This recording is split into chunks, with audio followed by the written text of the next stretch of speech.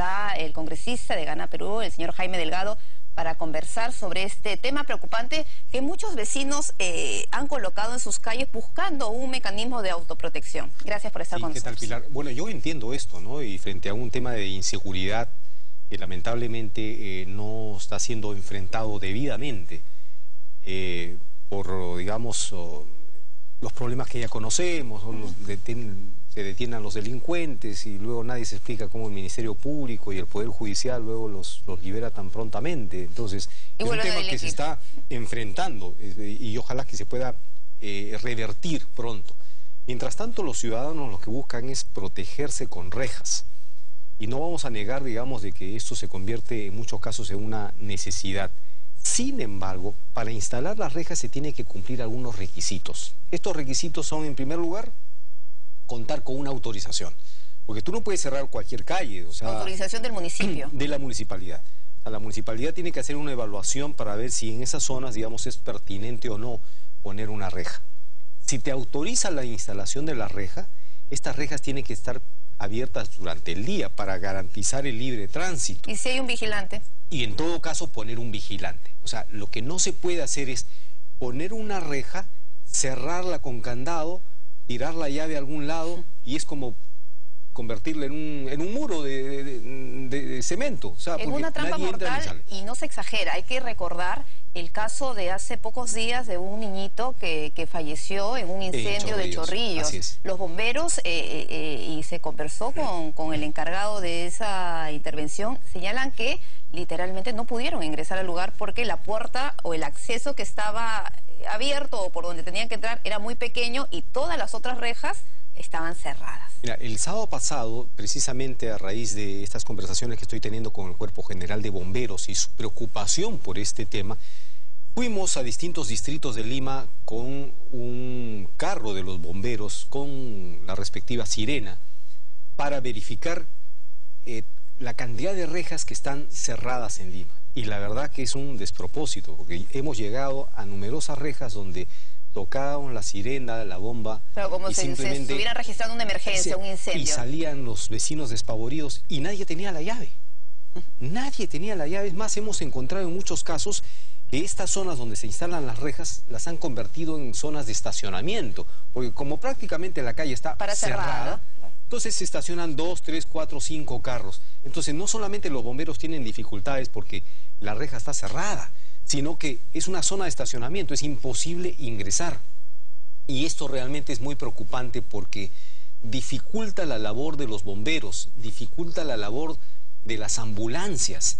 En el caso de una emergencia que la van a tener los propios vecinos, no van a poder resolverla. O sea, es una trampa mortal que se están generando. No solamente los incendios, también los movimientos sísmicos. un movimiento sísmico, simplemente una persona, caray, tiene un infarto, y necesitan llamar a la ambulancia y, la ambulancia no tiene por dónde entrar. Claro, porque tampoco la ambulancia o, el personal de los bomberos no va a saber exactamente cuál es la puerta donde está el vigilante. Y hay como seis y en una solamente está el vigilante. Exacto. Entonces prácticamente, prácticamente han convertido las ciudades en condominios. Eh, y una ciudad, obviamente, cuando se hacen calles, se hacen para viabilizar el libre tránsito. Y lamentablemente los vecinos, en el afán de protegerse, interés que es legítimo, por cierto, han perdido de vista de que estas autorizaciones que le dan para instalar rejas tienen un reglamento. Y ese reglamento establece, repito nuevamente, que la reja tiene que estar abierta o con un vigilante ahí para garantizar el libre tránsito. ¿Cuáles son los distritos en, esta, en este recorrido que ha podido hacer con los bomberos? ¿Cuáles son los distritos donde usted ha visto más rejas? Mira, los únicos distritos que en realidad no tienen rejas o muy pocas rejas son Miraflores, no hemos encontrado rejas en Miraflores, o tal vez alguna por ahí, San Isidro, en Magdalena hay muy pocas, pero en el resto de distritos, en verdad, este, Ate, San Juan de Lurigancho, San Juan de Miraflores, La Molina. Comas, La Molina, eh, es decir, encuentras, yo calculo que por lo menos existen en Lima más de 5.000 rejas. 5.000 rejas. Más de 5.000 rejas que están cerradas, o sea, bloqueadas. Ni siquiera eh, algún vecino tiene la llave porque están cerradas tanto tiempo con candados oxidados que nadie sabe, porque, y como te digo, con un carro de los bomberos estacionado ahí 15 minutos pidiendo que alguien traiga la llave de la bendita reja y nadie tenía la llave. esa es la situación real. Entonces, esta es una invocación a los alcaldes. Señores alcaldes, si ustedes están autorizando rejas, verifiquen que los vecinos estén cumpliendo con las disposiciones. O sea, claro, porque ellos, bueno, los vecinos me imagino tienen que estar eh, agrupados en esta junta vecinal, van al municipio, piden la autorización, eh, señalan que va a estar el vigilante, que van a cumplir todas las normas, pero ¿quién los fiscaliza? no se cumple. Si es que no vienen, nadie, nadie los fiscaliza. Sí, entonces tienen que entender de que si bien es cierto el tema de seguridad está bien, también tienen que compatibilizar con el tema del libre tránsito y también compatibilizarlo con el tema de la seguridad ante las emergencias. Entonces, todo esto es posible compatibilizarlo si se respetan las reglas, se respetan las normas. Pero nadie está diciendo ningún municipio que obligue a sus vecinos a retirar las rejas, de eso no se trata. No, no, no se trata de eso, porque resultaría contraproducente en estas circunstancias. Pero caray, la reja tiene que estar con un vigilante que tenga una llave cosa que no existe, ni siquiera los vecinos tienen la Pero a veces también, imagínense, una cuadra, eh, cuánto pagar eh, en vigilancia, ¿no? También hay que tomar en cuenta ese tema del presupuesto. Bueno, que se eh, han gastado en la, en la reja, en las cámaras. Pero que se organicen los vecinos, por decir, o sea, los vecinos que viven al lado de la reja, ellos son los que tendrían ah, que tener la llave, ¿no es cierto? O sea, tienen que buscar alguna alternativa. Lo cierto es que estamos visitando, y seguramente lo vamos a hacer los próximos días. Esa es la campaña de sensibilización que están realizando. Estamos visitando con los bomberos eh, zonas de, rejas, y como te digo, tocamos la sirena, como si fuera, digamos, un incendio, y ahí los vecinos salen despavoridos y nadie tiene la llave. Entonces, este es un llamado de atención. O sea, tiene que garantizarse que en un caso de emergencia alguien tenga la llave para abrir esa bendita reja. Y otro problema, que a veces ponen las rejas y encima una viga, ¿no? Una, un, fierro o cemento. Entonces, cuando entran carros de los bomberos que tienen, que son muy altos o con eh, escalera telescópica, eh, no, no pasan. O sea, por más que abran la reja, no pasan porque han puesto una, una viga. Entonces, ahí los bomberos se ven en problemas. He conversado con los bomberos. En algunas circunstancias lo que tienen que hacer es meterle carro a la reja y, romperla. O sea, con, todas las consecuencias que, esto puede generar, dañar el vehículo, este, dañar eh, infraestructura.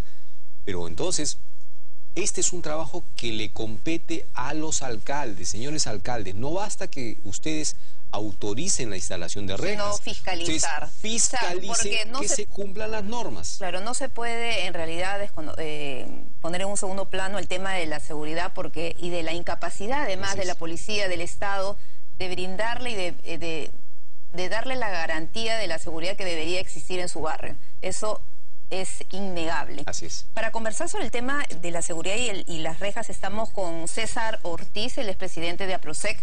Eh, vía telefónica. César, buenos días, gracias por acompañarnos. Buenos días, Pilar, y un saludo al congresista Jaime Delgado y a todos los televidentes.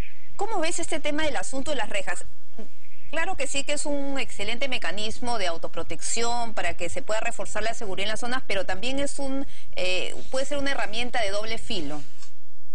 En efecto, pero todo suma, acuérdate que todo suma, y no es un excelente mecanismo de protección. ¿Cuántas rejas hay que están prácticamente ya con los candados, con las cadenas, solas, y cuánto ha habido de vulneración de esas rejas. En el año, en APROSEC, el año pasado, hemos detectado más de 40 rejas que fueron vulneradas por la delincuencia porque el ciudadano en la cuadra piensa que ya con la reja y el candado está protegida. Si no hay un hombre ahí, pues eso está mal.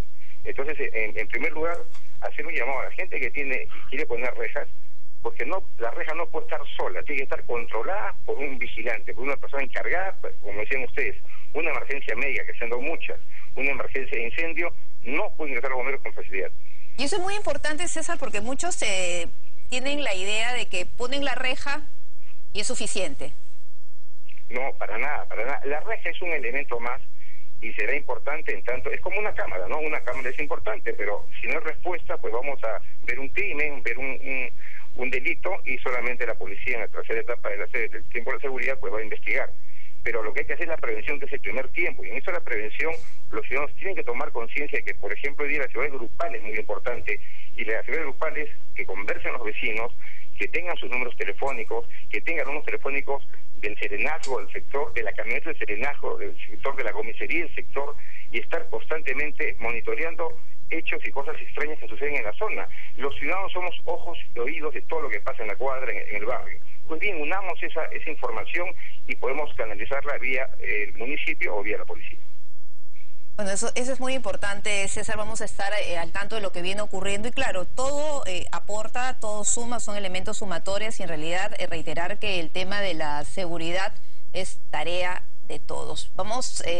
Se tiene que buscar una forma integrada.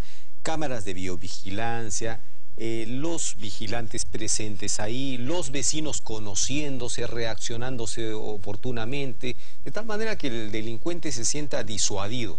Ahora, lo que sucede es que, claro, encuentras un barrio que está muy bien organizado, el delincuente no entra ahí, pero se va al, de al lado, ¿no? que está desguarnecido. Entonces, tiene que haber un trabajo conjunto de todos los alcaldes, de toda la comunidad y del gobierno para enfrentar esta situación, porque no podemos seguir... De esta forma. De esta forma. Usted ha hecho un llamado a los alcaldes para que puedan realmente fiscalizar este tema. ¿Cuál ha sido la respuesta? ¿Ha podido tener eh, algún tipo eh, de comunicación con ellos o, es un tema que no es prioritario? Mira, es un tema que... Eh, los alcaldes no quieren enfrentar. Porque los vecinos están divididos Así es. Entonces, están divididos porque los que están dentro, de la reja la defienden y los que están fuera de la reja dicen, me lavo las manos y las cosas Entonces, eh, los alcaldes no, no quieren meterse.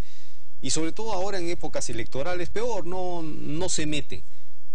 Pero repito, o sea, yo no estoy poniendo el mensaje de no a las rejas ni retiren las rejas, porque esa no es la idea. No. La idea es cómo compatibilizamos la seguridad con el libre tránsito y la integridad. Y la integridad de los vecinos. Entonces hay forma de hacerlo y, y no estoy ni siquiera proponiendo ley ni nada, o sea, ya están en los reglamentos.